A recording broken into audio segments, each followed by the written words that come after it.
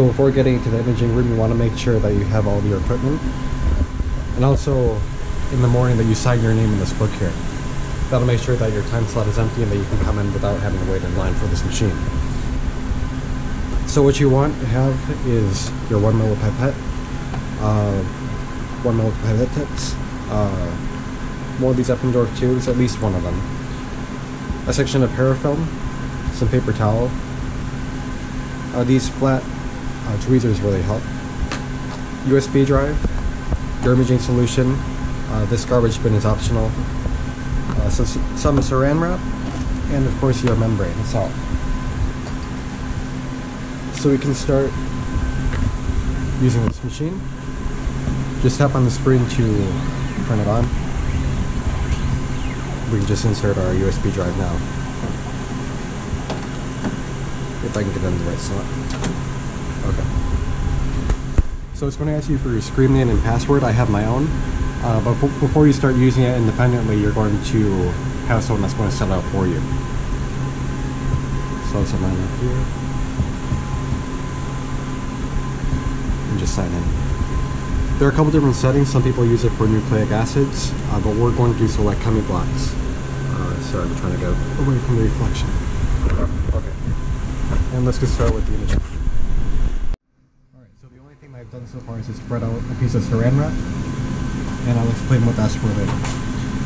So we need to mix our imaging solution first, and it's always going to come in two parts. In this case, I'm using the super template solutions, and for the regular solutions, you're going to have a much bigger bottle. Um, this one will get you an image much faster, but it's much more expensive. These two bottles cost about $400 combined. So the last thing you want to do with these, especially with the stock solution, is mix them accidentally.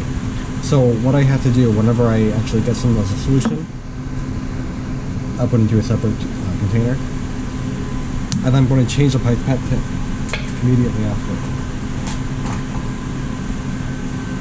Close this back up so I don't get confused which is which. Move this side. And then go into the other solution.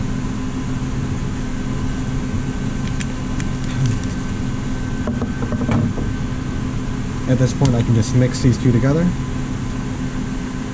And so long as I'm not going back into the stock solutions, I can keep reusing this tip to grab the solution while I'm actually trying to get onto the membrane itself.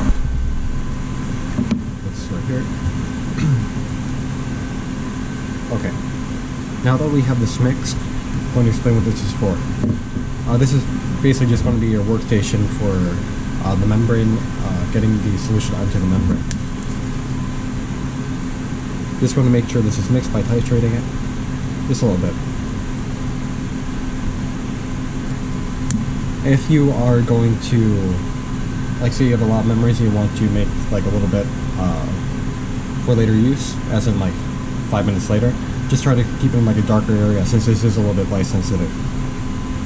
So what I'm doing, I'm just going to put this solution right onto the saran wrap, grab my membrane here, with my tweezers. And I like to always grab it by the ladder section so it's not going to actually mess up any of the proteins that I have that I'm testing on. And what I'm going to do is just put this face down directly onto the solution. It's okay to touch the back of the membrane so long as you're not touching the front, the proteins aren't on the back. Just try to spread it around. Get some more. Uh, what I did, I added 40 or 400 uh, microliters of solution each. And that's going to be more than sufficient for basically any kind of, any size membrane you have, so long as it's about uh, half. If you have a whole membrane, you might want to do a little bit more. We just set this here. Alright. Now I'll set this up. We can let that sit just for a little bit to make sure that the solution really covers the entire face of the membrane. So now we have it set to ChemiBlots we can just start by opening this up. I can grab this parafilm here. This is going to act as a barrier between the glass and the membrane.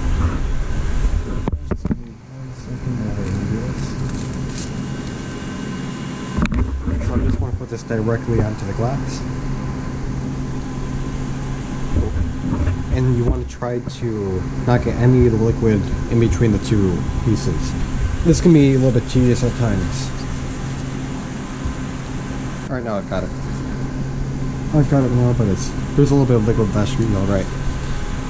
Now it's been sitting here for about uh, 30 seconds. Just gonna grab the edge.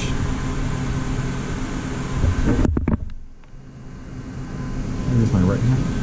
Okay. Grabbing it from the ladder again. Now this is, it was face down before, so I want to put it right side up. And when I'm putting this down, I also want to make sure that there's no air bubbles between the membrane and the parafilm. This is much more difficult with larger membranes, but with a smaller strip like this, it's much easier. Once this is in the machine, just want to close it up.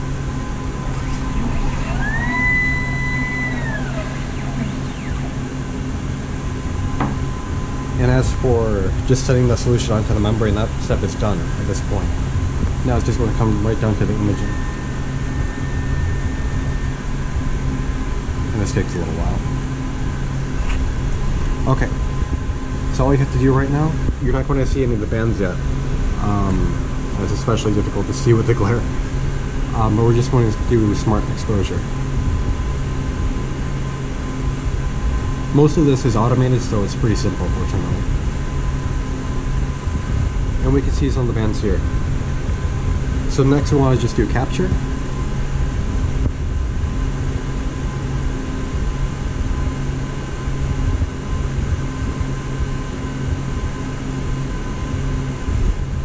And we can see our bands lighting up very nicely. At least most of them. These two are a little bit dim. Um, what I like to do and what's much easier to see when you're actually going to edit these down is select membrane overlay. Now you can actually see the outlines of the membrane, what it actually physically looks like, along with the bands itself. Once you have this on, just press done. Add the next port in. Next. Um, let me show you. This part you don't really play around with. So long as the USB is in, uh, which I've done in the previous step, then everything will be set up and ready to go. You can just name this whatever you want. It's always going to vary between which sample you have. Uh, in my case, it's going to be a much older date.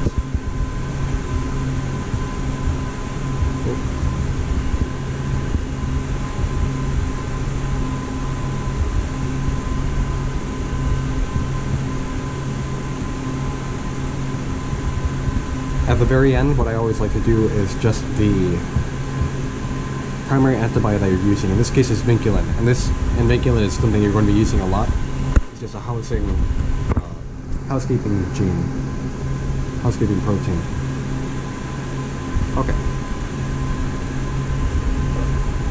So once we save the image, just go ahead and eject the membrane.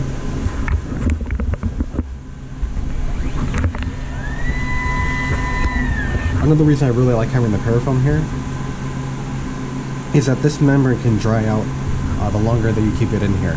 So with this parafilm, it's not going to stick to the glass. So it's much easier to just grab off and you don't really have to worry about damaging it. Once I've grabbed it, just put it right into the solution here. And you're done. You can just move right onto the next membrane you have if you're going to be doing multiple. If you are doing multiple, just try to wipe this down keep it clean for the next one, and just keep moving on. Continue until you're done with all of them. Once you want to clean up, we're just going to take out this parafilm here. Throw that away. Throw away your saran wrap. Any other garbage that you have.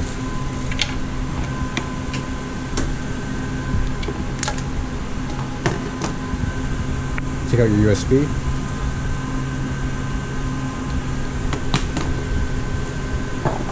Well, don't do that.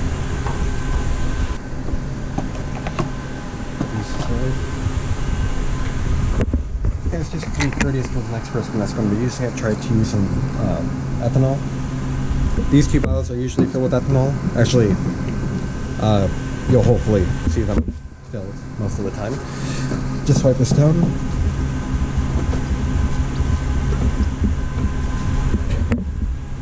Then we can log out I prefer to sign out rather than uh, close it up first.